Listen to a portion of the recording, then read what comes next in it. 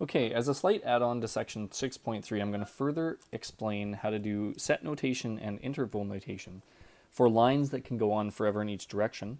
And also, set notation and interval notation are likely the two that you'll, you'll see the most uh, throughout your math career. So for the first example, I have a line here that goes on in each direction forever and ever. So for set notation, what you're going to do is for domain, you will have all the same type of notation that you had before for set notation. And remember, domain is always in terms of x. And you're going to have x is such that x is an element of all real numbers. That's it. It goes on forever. Range is going to be the same thing, except it's y, and y is an element of all real numbers.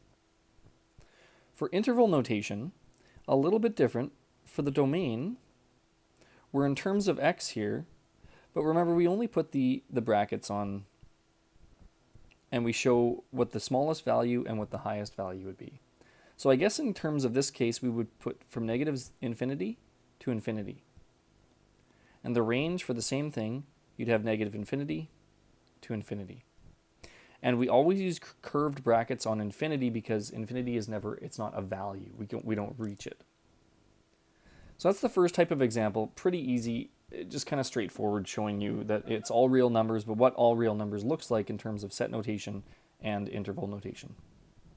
Remember, for interval notation, you don't really say the x is involved, but you should say the domain is, the range is.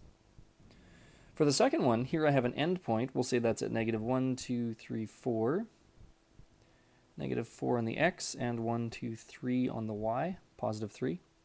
So for set notation for domain, use our curved brackets. x is such that, now at this time I have a smallest point for x. It's at negative 4. So negative 4 is less than x. And that's it.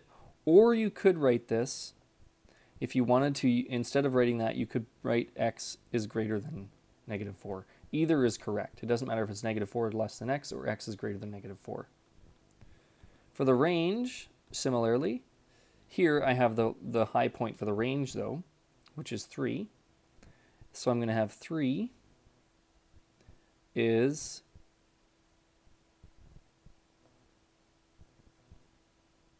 greater than y. Had to think about that one for a second. Because it actually goes down. So an easier way to write that one would actually be y is less than 3. I was trying to think about how I would write it with the number first.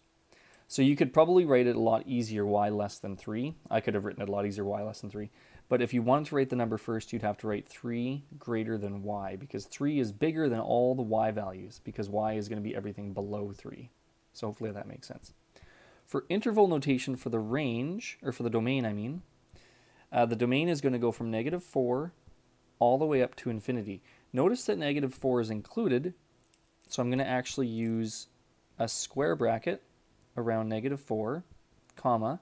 It's going to go all the way to infinity, and infinity is never included. For the range, again, it's going to be from 3.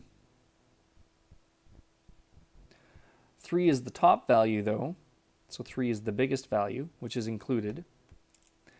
And this time it's going to go from negative infinity all the way to 3.